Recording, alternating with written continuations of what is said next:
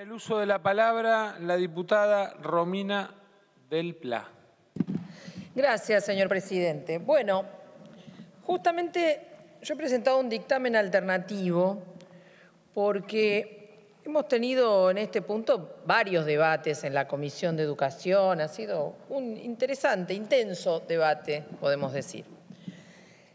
Miren, lo primero que creo que hay que caracterizar es que, dado que el proyecto que se está tratando tiene el título del abordaje de las, trayectorias educativas discontinuas, un acompañamiento a esas trayectorias este, como resultado o como acción de la pospandemia, lo primero que hay que decir es que de ninguna manera la crisis educativa, la situación de la deserción escolar, esto que se llama, en términos hoy aparentemente modernos, trayectorias educativas discontinuas, que no es otra cosa que la deserción escolar lisa y llana, o sea, chicas, chicos, adolescentes que tendrían que estar transitando su escolaridad y no lo están, no es una situación de la este, resultado de la pandemia, de la cuarentena, de la suspensión de las clases presenciales y por lo tanto que al cortarse en alguna franja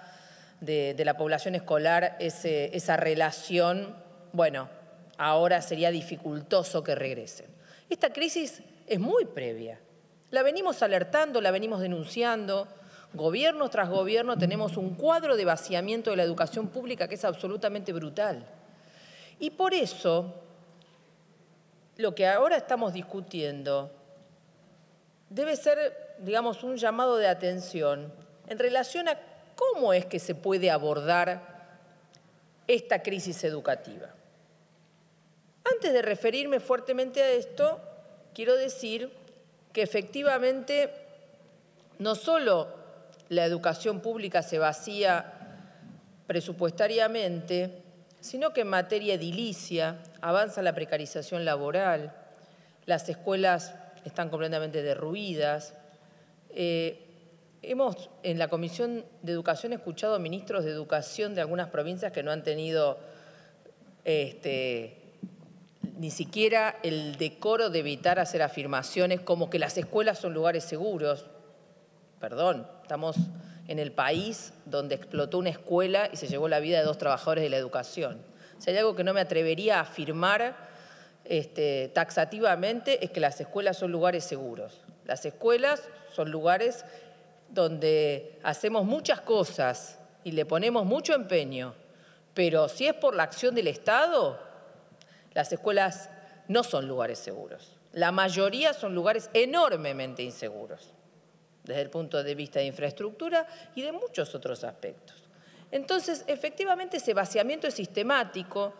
Podemos citar su origen muchas décadas atrás, pero claramente un punto de inflexión son dos leyes, la de transferencia educativa, donde se desarticuló el sistema educativo nacional, y la Ley Federal de Educación. Y siempre hay que recordar que cuando se este, reemplazó esa ley por la Ley de Educación Nacional, siempre hay que recordar que de nacional esa ley solo tiene el título. Nunca más se nacionalizó el sistema educativo. Se dejó la estructura central de esa ley menemista, se dejó en pie y por lo tanto la fragmentación educativa es una regla y es uno de los hechos, ese de financiamiento, porque cada provincia se arregla como puede, ha habido tendencias a la municipalización, hay provincias donde, digamos, se han ido implementando todo tipo de modificaciones de las estructuras educativas que han tenido mucho que ver en este deterioro. Y no me refiero a tomar en cuenta las particularidades regionales y demás, que no debieran, que digamos que la idea de que una educación nacional no tomaría en cuenta. No, me refiero a la idea de que acá para defender el sistema educativo público, tenemos que nacionalizarlo. Los recursos deben salir de donde están los recursos, que es el presupuesto nacional. Hay que terminar con este sálvese quien pueda, con salarios diferentes, con estatutos diferentes y con un avance muy agudo de la precarización laboral en la docencia, que se ha visto este año, muy claramente. Los gobiernos aprovecharon para no nombrar los docentes reemplazantes, los interinos, los suplentes, de acuerdo a cómo se llame en cada jurisdicción. Se ahorraron meses y meses de sueldo. Y después cuando en alguna jurisdicción pagaron algún tipo de, seguro, de resarcimiento, ha sido sobre la base de una precarización total. Tenemos en la provincia de Buenos Aires, depende del distrito, pero hay compañeros del Piedra que están trabajando dando clase 20 horas semanales cuando se supone que les pagan por 8 y sin ningún tipo de derecho.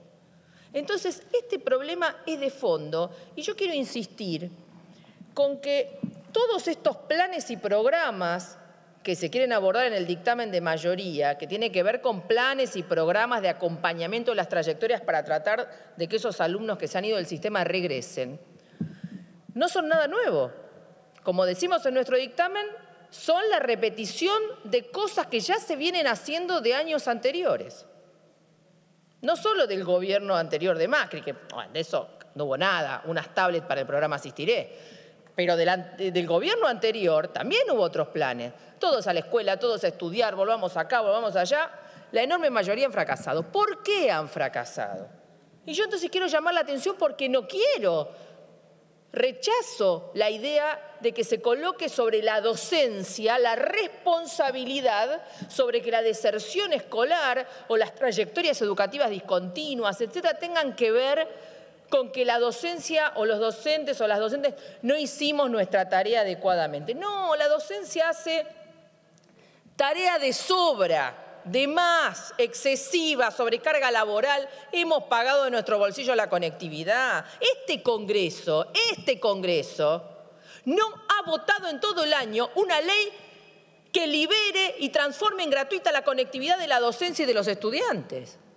Este Congreso es responsable de que la educación pública gratuita se haya convertido este año en privada. El que no tuvo para pagar no tuvo continuidad pedagógica. Es un escándalo. Hoy terminaron, creo que darle dictamen en presupuesto una ley que igual no resuelve nada porque es solo para las plataformas estatales. Y seguimos la misma cantinela. Ocho meses, ocho meses. Y ahora lo que sí se va a votar, como ya dijimos cuando se modificó el artículo 109, es algo que va a ser inocuo.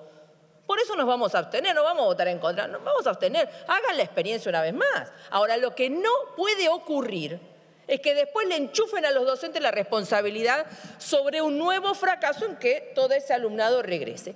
Porque ¿cuál es el problema? En este Congreso y en muchos otros organismos les encanta decir que la educación resuelve los problemas de la población. Y yo vengo a decirles algo que les va a sonar polémico. De ninguna manera. La educación es una herramienta más. Pero la educación no resuelve las desigualdades sociales del sistema capitalista. Es más, la educación está inmersa violentamente en los negociados capitalistas. Por eso se la quiere convertir en una fuente de negocios cuando otros negocios no dan para más.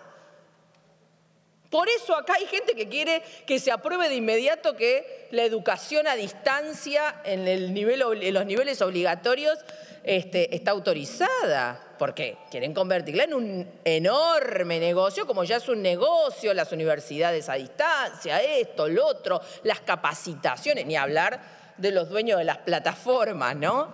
Ya, eso sí, a eso no se les tocó un centavo. Pero en esa situación estamos. Entonces, yo quiero insistir con un concepto. Es falso que la educación va a resolver los problemas de la explotación capitalista. Por lo tanto, es falso que simplemente con, una, con, con alguien que vaya a buscar a ese alumno va a alcanzar para que regrese. Si no se modifican la el cuadro estructural de las familias, que cada vez son más pobres, que cada vez tienen más problemas básicos sin resolver, ¿O creen que el problema de la gente que no tiene vivienda, las recuperaciones de tierra, las tomas, son un tema ajeno a la deserción educativa? Una familia que anda vagando porque no tiene dónde alojarse. ¿A ustedes les parece que puede garantizar la continuidad de la trayectoria educativa de sus hijos? No.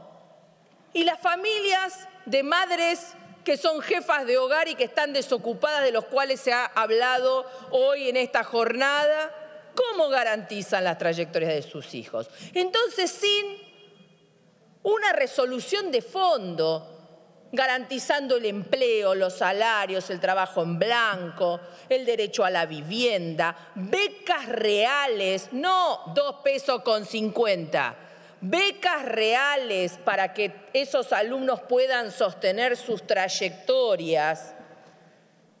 O sea, un reforzamiento para que el sector más explotado de este país, que son y somos las y los trabajadores, puedan resolver sus problemas básicos, no va a haber la posibilidad de garantizar las trayectorias educativas de los alumnos y mucho menos si los recursos que tienen que ir a sostener la educación pública, a resolver los edificios, a nombrar los docentes y demás, se desvían a programas por fuera de la educación obligatoria y el sistema formal. Quiero llamar la atención, se desvían muchos recursos a cosas que no van a las escuelas, que no van a esos edificios que faltan, que no van al nombramiento de los docentes y los auxiliares que faltan.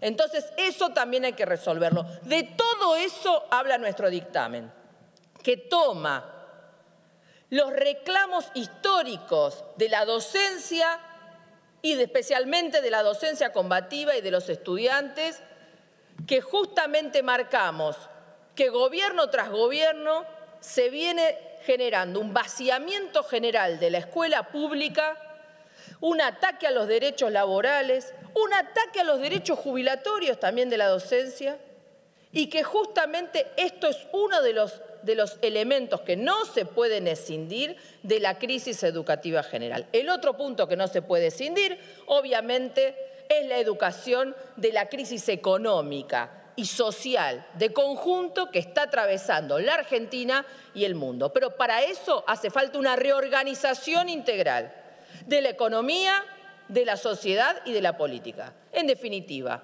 una salida que solo podemos brindar los trabajadores y la educación va de la mano con ese planteo estratégico e integral. De eso trata nuestro dictamen alternativo. Muchas gracias. Gracias, diputada.